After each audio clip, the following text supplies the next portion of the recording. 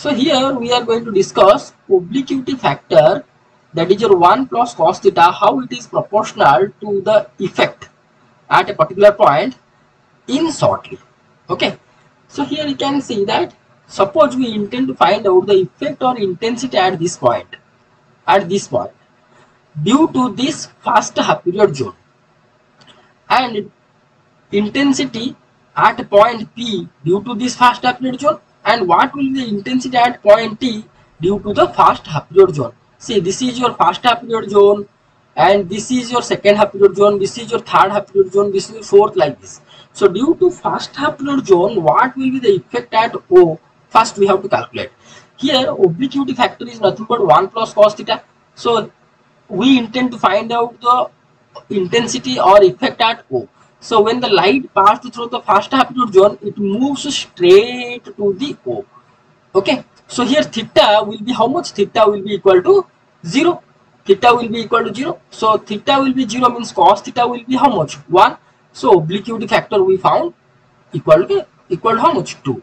So effect or the so-called intensity will be maximum along CO path, along CO path. Now consider a arbitrary point P on the screen and we intend to find out the effect at point P due to the first half period zone. So from the first half period zone, if we want to move towards the point P, then we have to create some angle from uh, the horizontal direction. From the horizontal direction, we have to put we have to create some angle theta. So here theta is the angle we have to create from the horizontal then we can reach at the point P. Okay. So if this theta will be 45 degree suppose if this theta will be 45 degree then 1 plus cos theta 1 plus cos 45 cos 45 that will be 1 plus cos 45 1 by root 2. So this will 1.1 by root 2 is around 0.7 so it will be 1.7.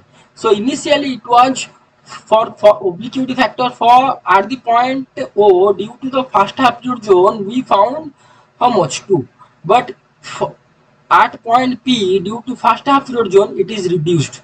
1 1.7 from 2 from 2 it is reduced 1.7 so here obliquity factor is reduced. Whenever we are going to move away from the horizontal. Now we are going to consider another point T uh, from the horizontal let we have to move the angle pi by 2 so from the first period zone if so, if light will be uh, travel to t it let it has to create pi by 2 angle with horizontal. So if pi by 2 here you can see pi by 2 means cos pi by 2 will be 0 so obliquity factor will be 1 so here obliquity factor how much?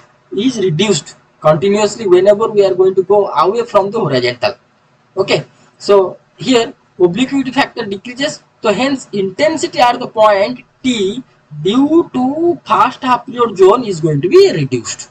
Okay? So here we found that as obliquity factor decreases then the intensity at the arbitrary point is going to be decreased. So if we have to move from horizontal to this way on the screen then the obliquity factor this one is decreases due to which the intensity that on at that particular points is going to be decreases. Okay? Intensity also decreases. So